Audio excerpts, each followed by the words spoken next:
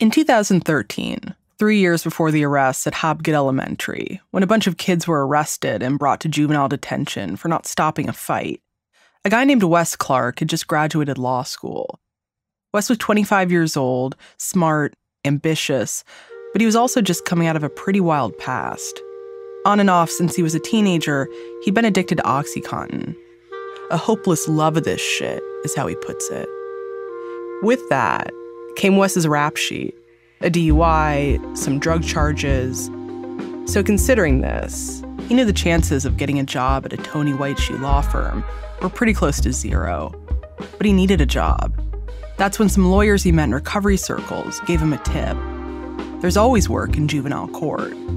They were like, hey, this is a place you can go and at least start out and learn the ropes because there was a need for lawyers to do that. Court appointed juvenile cases don't pay well, and lawyers have told me that juvenile court lacks the prestige of adult criminal court. One lawyer harshly described it as the bottom rung of the legal practice. But for Wes, you know, it was something to do, which was much better than nothing to do. At the time, Wes was living in Rutherford County, Tennessee. And so I just went down to the juvenile court and observed a couple of days and then uh, asked to, you know, be put on the list to take appointments. And it was in January of 2014 that I got my first juvenile court appointment. Wes's first case was for a girl who was being held in detention on a misdemeanor called reckless burning, a crime Wes had never heard of. The girl was accused of setting a small fire in a neighbor's barn, so police had picked her up the day before and taken her to juvie, where she spent the night in a cell waiting for her hearing. Wes went down to the detention center to meet with her. I remember just like physically how s- small she was. Like, kind of struck me like, wow, this is a really little kid, you know? The girl was 12, wearing the jail's standard issue jumpsuit. Wes was thrown.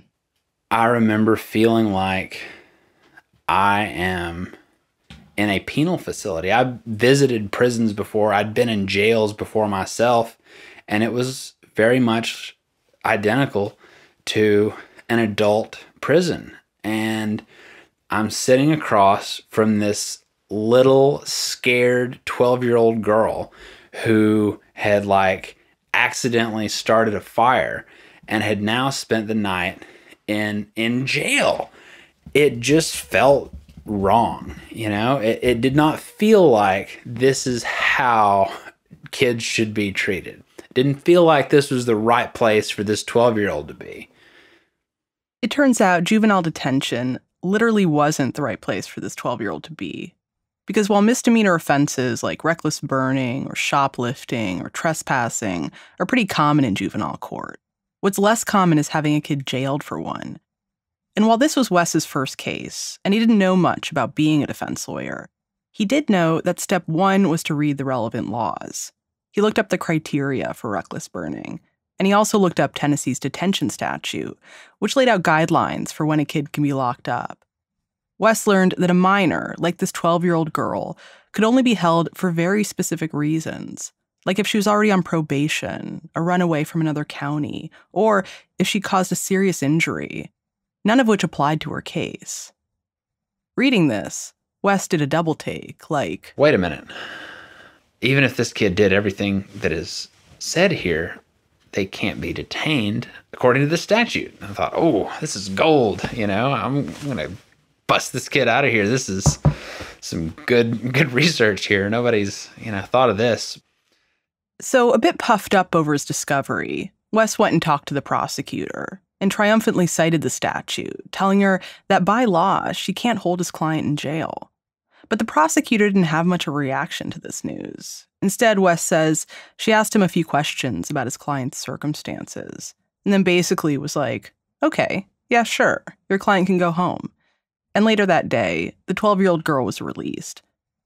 Wes ended up having mixed feelings about this outcome. On the one hand, I'm thrilled because that's the best outcome I can get here. But it definitely stuck with me that, like, this statute is pretty clear about when you can detain a kid. And here's the kid being detained anyway. Wes thought maybe what happened to his 12 year old client was just an isolated incident, a one off. But here's what he saw next a boy accused of stealing a football jersey, jailed. A girl accused of pulling someone's hair, jailed. A girl trying to use a blank check at a school book fair, jailed. To be clear, these were all misdemeanor charges and did not qualify for detention under Tennessee law. And yet, many of Wes's clients were still getting picked up by law enforcement and taken to juvie to sit in a cell for a day, or two, or three. Wes had gone to law school for a reason. He wanted to argue the law. He was also a brand new lawyer, still figuring out how this all worked. But from what he could see, Rutherford County was operating by its own rules. They had their own form of juvenile justice. And Wes was about to figure out who and what was behind it. From Serial Productions and the New York Times, I'm Meribah Knight. This is The Kids of Rutherford County. Episode 2 What the hell are you people doing?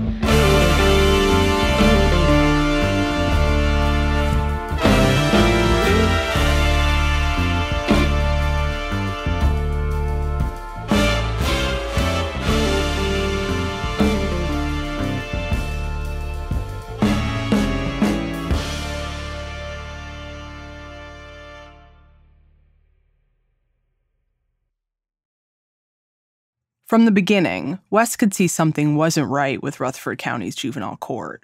And after just a few months taking cases there, he was feeling pretty beaten down. It was just disheartening. I mean, every single docket, there are kids who just simply don't meet the legal criteria to have been detained and even arrested. Yet here they are in chains, in a jumpsuit, having a detention hearing to determine whether they're going to continue to be detained.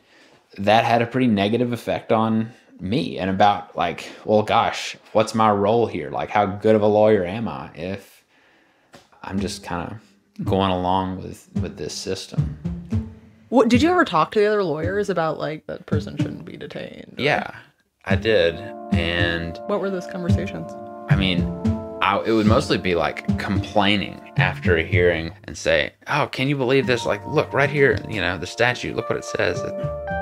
This kid had a misdemeanor assault. There's no way this kid could be detained." And I don't remember ever really getting more than like, uh, "Oh, well, yeah. What are you gonna do?"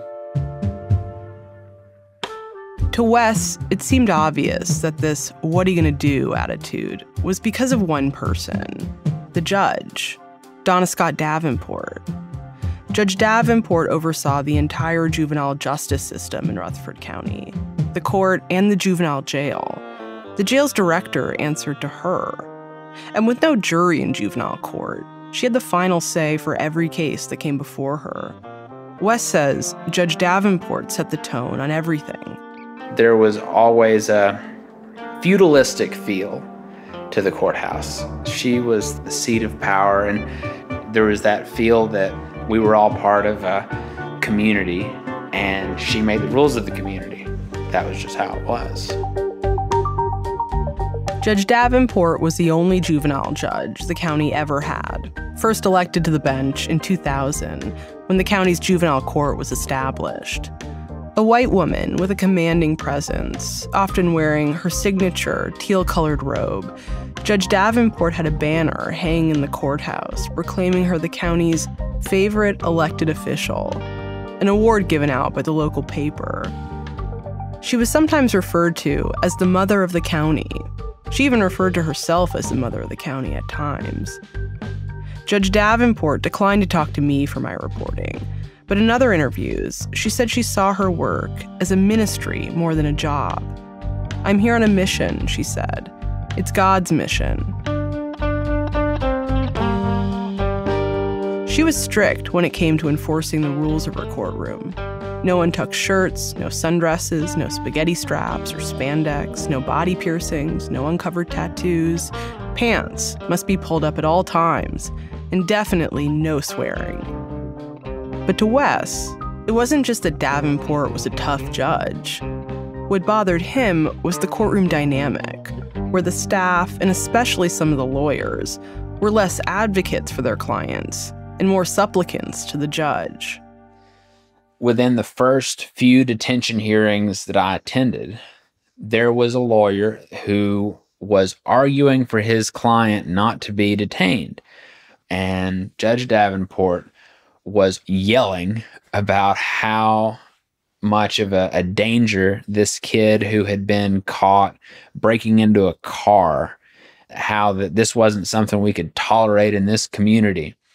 To be clear, breaking into a car did not meet Tennessee's criteria for juvenile detention.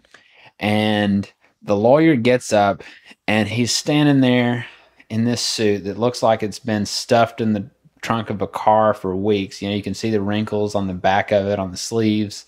And he's got one of those beards that's not like an intentional beard, but just, you know, fuck it, I haven't shaved for a week kind of beards. And he's making this argument. But as he's saying the words, he's looking down, like visibly submitting to the prosecutor and to the judge and saying, Judge, you can detain this kid and and you know, he's subject to that, but just please don't. That was the essence of what he was saying, just groveling, begging without any reference to any rules that actually apply to the situation. What are you thinking as you're watching this happen? I don't want to be like that guy. Wes tried to not be that guy, but it didn't get him very far.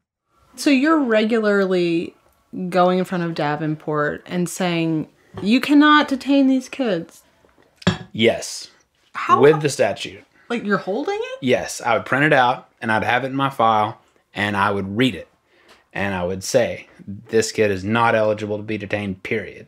So you have to let him go.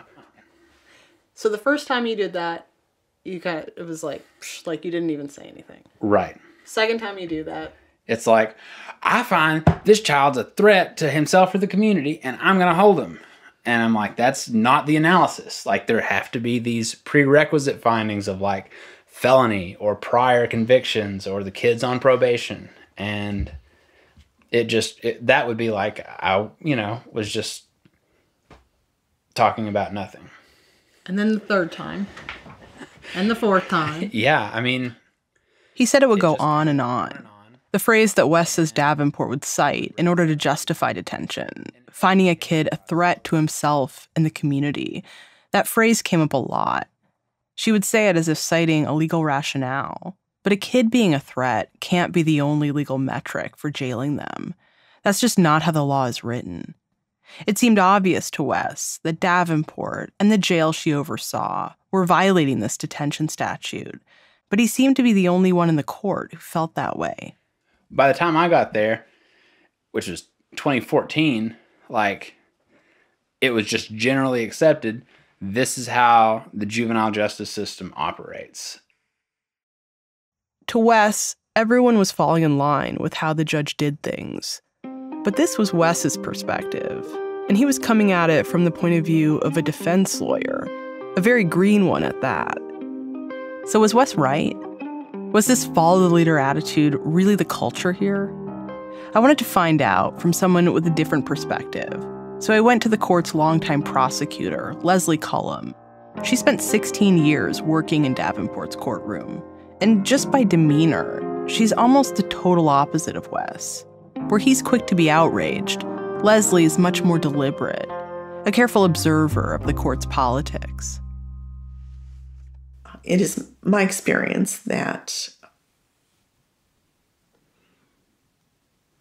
officials, maybe especially judges, don't particularly like to be told they're wrong or how to do things. See what I mean? Deliberate. Wes was. Leslie remembers Wes was an antagonizing presence in the courtroom, both toward her and Judge Davenport. And she didn't think that was always the most effective approach. That said, Leslie herself didn't always like Davenport's approach. Like when Davenport would yell at child defendants and their families from the bench. I think if a middle aged lady yelling at you was going to solve your problem, you wouldn't be in court. because I think most of the mothers would have done that already. Leslie told me she wanted to get families treatment, get them into programs, things like anger management, drug and alcohol counseling, which in her eyes didn't happen nearly enough in Davenport's court. I asked her if she ever saw what Wes did kids being held in detention when they shouldn't have been. I'm sure there were examples of that. And did you feel like you could say anything? Not really. Was that a frustrating place to be in? Yes, sometimes. But at the end of the day, it's her courtroom. And I need to make myself work within her rules as much as I can. So back to Wes. He'd just started his legal career at the juvenile court, and he was already frustrated and demoralized. He was up against a judge who kept dismissing his argument about the detention statute, a prosecutor who seemed to follow her lead, and colleagues who accepted the status quo. But what could he do about it? He was only 25 years old and still just learning the ropes of juvenile court. He knew he wasn't going to change things on his own. But then one day, hanging out in the smoker section in front of the courthouse, he found an ally. That's after the break.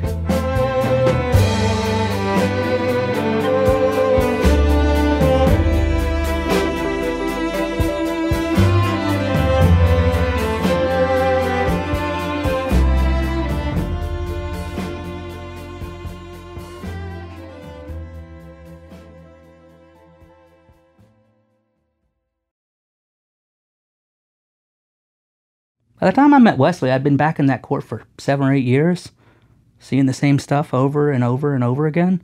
This is Mark Downton. When Wes first arrived at the court in 2014, Mark had been a juvenile attorney there on and off for almost 15 years, though he admits several of those years were a blur, in part because I think I would show up to court still drunk from the night before. That would happen.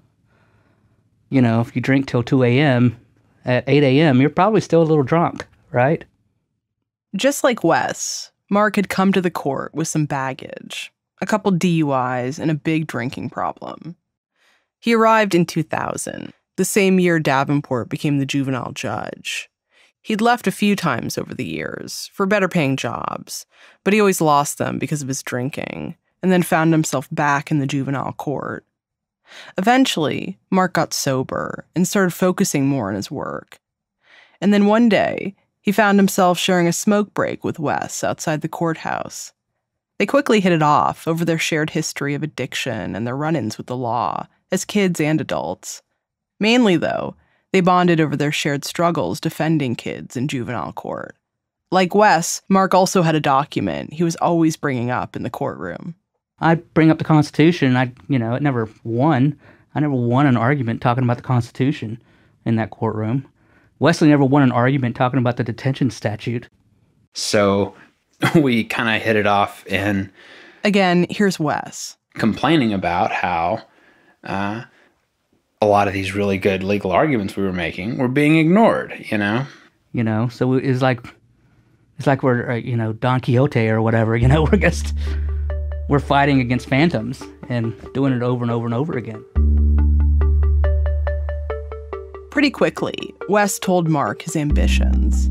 He was tired of citing the actual law, failing to get a client out, and then everyone going back to business as usual, locking up more kids. He wanted to end this system. Mark remembers the main thing Wes wanted to do Boy, he wanted to sue that.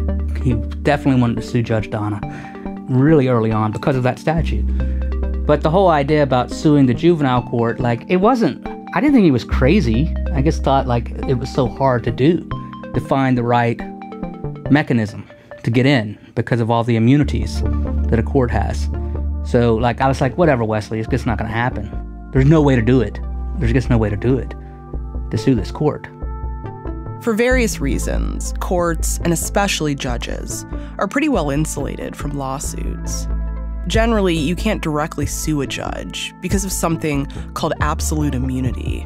I'll spare you the details, But still, Wes was determined to find a way. So for the next two years, Mark and Wes had these pie in the sky conversations about suing the court until Wes finally got a case they both saw as an opportunity. In April of 2016, Wes got an email from the court about one of his clients, a kid named Quintarius Frazier. Quintarius was 15 years old, and he was being held in detention for aggravated robbery. In the email, detention staff wrote that Quintarius had been acting out in jail, flashing gang signs, rapping, hollering, and they'd been holding him for a few days in something called lockdown. Now they wanted the prosecutor, Leslie Cullum, to a motion giving them the authority to keep Quintarius in lockdown indefinitely. Wes read this and immediately called Leslie. I'm like, what the hell is lockdown? How what what are we talking about here? And she's like, oh well, you know, it's this process, and she explained that, you know, the kids, they put them in in the cell 23 hours a day, and let them out an hour a day, and I'm like, like that's solitary confinement. What are you talking about? Like I'm just indignant about the whole thing because I'm like, surely I'm missing something. Like really, they're not putting kids in solitary confinement. Surely. After getting off the phone with Leslie, Wes headed to the detention center and met with Quintarius. And I'm like, hey buddy, uh, like what's what's going on back there? And he's like, well, I got you know I got in some trouble and they put me on lockdown. I'm like, what's what's lockdown? Quintarius told Wes he'd been placed on lockdown before. It was twice in the past few weeks, actually. Once for eight days straight. The staff would take everything out of his cell, including his bedding and his mattress. During the day, he wasn't allowed to lay down, so he'd sit on the metal bunk. Quintarius told Wes that they covered up his window so he couldn't see out. All he was left with was just a Bible and a cup. My jaw is like dropping that like this is happening and that he's even like sitting there composed and just like it's not like registering with him that this is like some human rights violation that's occurring. It's just like this is my life now, you know? So I'm like, listen, man, this is insane. Okay, they can't do this to you. We're going to put an end to this. This is some real next level bullshit, and it's not going to fly.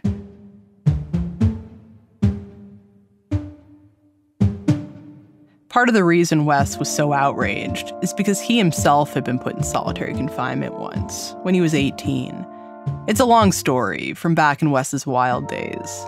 It involved a heavy dose of LSD, insulting an officer, and then getting to a fight with an inmate. Wes got thrown into solitary, and he remembers feeling like he was totally alone and that anything could happen to him. You know, your whole world shrinks down to this little concrete hole. And after that point, I found out that I may have rights on paper, but in practice, if I'm alone in a concrete hole under a courthouse and there's a bunch of, you know, angry law enforcement officers that are just irritated with me, I've got precisely as much liberty as they decide I have. And and that was that was pretty scary. So now, here Wes was, a decade later, a lawyer representing a kid who was going through almost the same thing he did. Except his client, Quintarius, was going through it at the age of 15. Now, to be clear, lockdown was technically legal in Tennessee. The state's Department of Children's Services allowed it as a way to manage behavior, and juvenile detention centers could use it as much as they wanted sometimes calling it isolation or seclusion. But to Wes, no matter what it was called, he thought it all amounted to the same thing solitary confinement. And he thought for children in particular, it was cruel and inhumane. Leaving Quintarius in the detention center, Wes had just two hours to go before his hearing in front of Judge Davenport. So he sat down in the courthouse and pulled out his iPad frantically looking for any legal justification to get Quintarius out of solitary. And he found plenty of material to support his argument. A recent executive order from President Obama had banned solitary confinement of children in federal facilities. A report from the UN qualified the practice as torture. And he also found some psychiatric articles that all said the same thing solitary confinement is really bad for kids. Wes assembled his argument right up to the moment the hearing began in front of Judge Davenport. So the judge's like, Well, Mr. Clark, what do you have to say? And I start rattling off the statistics and the generally accepted definition of solitary confinement and how it's like torture for children. And I don't get too far into it before the judge kind of interrupts me to say, We don't put anybody in solitary confinement. And I'm like, Hold up. Didn't we just say you're going to put somebody in a room for 23 hours and then let them out for one hour a day? I'm looking around the room for like these other adults in the room. They're like, what the hell are you people doing? This is a child. Like, you're adults. This is a legal system. And you're telling me you're putting this kid in a hole for 23 hours a day? I explained, well, this has just been outlawed in the federal system. President Obama, you know, issued an executive order prohibiting this practice and this is exactly why. And and then the judge like scoffed at that that you know well this is not president obama's courtroom this is my courtroom.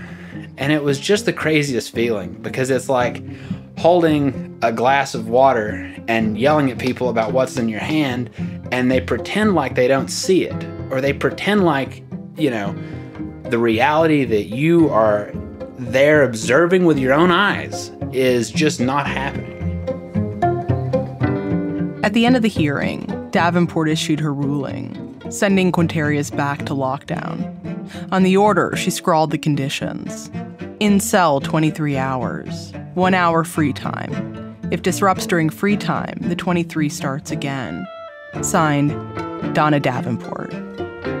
Wes had lost. I, I walked out as angry as I've ever walked out of a courtroom in my life.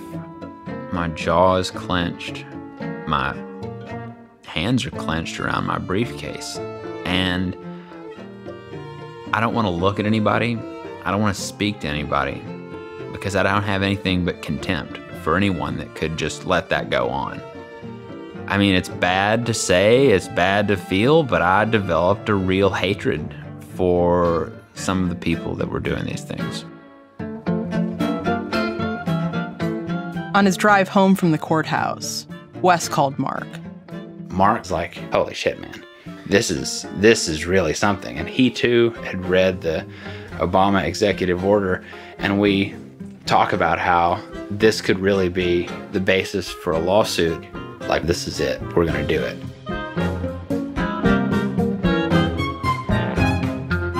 A few days later, they filed a 28 page emergency complaint with the federal court saying the juvenile jail had violated the 8th and 14th Amendments to the Constitution. In other words, what Rutherford County was doing to Quintarius was cruel and unusual punishment. Within hours of filing, the federal judge granted the lawyer's request, writing Quintarius was being subjected to, quote, inhumane conditions likely to cause him irreparable harm the judge ordered Rutherford County to let Quintarius out of lockdown immediately. Legally speaking, the judge's decision was a narrow one. It only applied to Quintarius, but it was bigger than that, too. For one, it set a precedent. Within a year, Tennessee had banned the practice as a form of punishment for kids in detention. But on top of that, for Wes, it was a personal victory. For two years, he'd been trying to get someone to see what he did that Rutherford County wasn't following the rules. And now, at least for this one kid, he'd finally gotten someone, someone with authority to listen.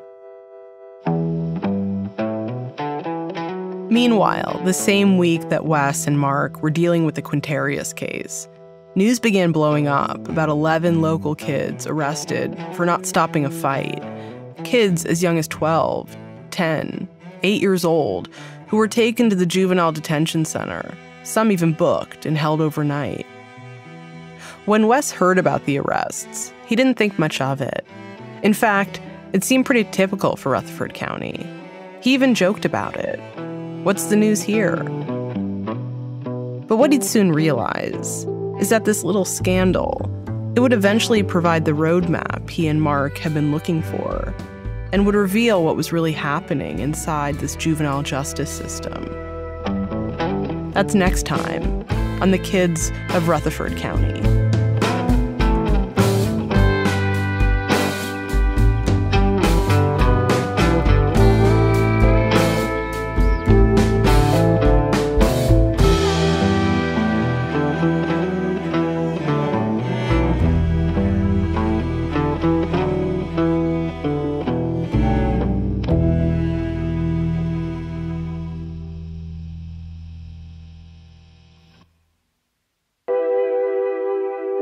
Kids of Rutherford County is a co production of Serial Productions, The New York Times, ProPublica, and Nashville Public Radio. It was reported by me, Meribah Knight, with additional reporting from Ken Armstrong. The show is produced by Daniel Guillemette, with additional production by Michelle Navarro. Editing from Julie Snyder and Jen Guerra along with Sarah Blustain and Ken Armstrong at ProPublica, and my colleague Tony Gonzalez at Nashville Public Radio. Additional editing from Anita Badejo and Alex Kolowitz. The supervising producer for Serial Productions is Ende Chubu. Research and fact checking by Ben Phelan, with additional fact checking by Naomi Sharp. Sound design, music supervision, and mixing by Phoebe Wang. The original score for our show is from The Blasting Company. Susan Wessling is our standards editor, and legal review from Dana Green, Al-Amyn Sumar, and Simone Procas. The art for our show comes from Pablo Delcan. Additional production from Janelle Pfeiffer. Mac Miller is the executive assistant for Serial. Sam Dolnick is the deputy managing editor of the New York Times. At the New York Times, thanks to Elizabeth Davis Moore, Susan Beachy, Kitty Bennett, Alain Delaquérière, Sheila McNeil, and Kirsten Noyes. Special thanks to our session musicians Austin Hoke, Dopu Leo, Hannah Sorrells Tyler, Dominique Rodriguez, and Keith Carmen. The Kids of Rutherford County is produced by Serial Productions, The New York Times, ProPublica, and Nashville Public Radio.